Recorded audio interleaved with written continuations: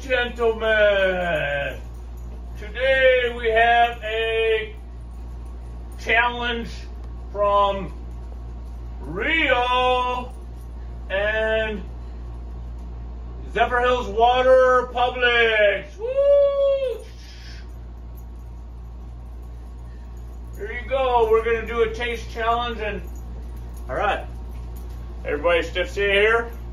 Gonna do a challenge between uh, Rio with a, I think it's about a 5% ABV and uh, SE Grocers is from Winn-Dixie.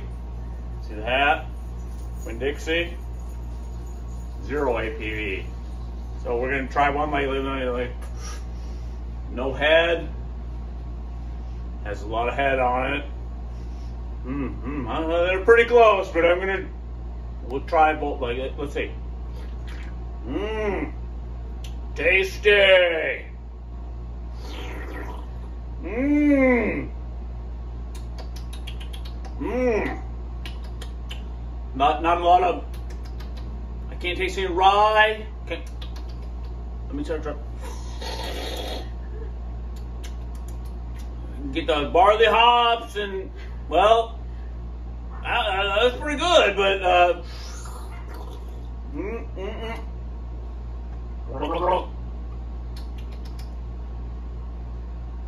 Pretty good too. It tastes like water. I think the Rio wins for the beer review, but uh, let me see. Mm, mm, mm I'm gonna have to do a challenge on. Let me.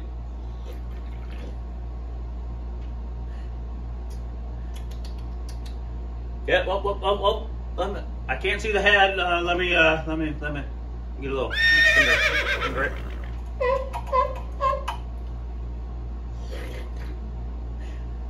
That's a taste.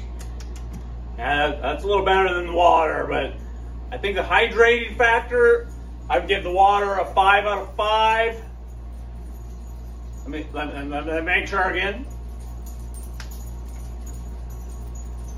Yeah. Uh, uh, yeah, yeah, five out of five for the water, uh, zero ABV, and uh, uh, Rio, uh, 3.2 on hydration factor.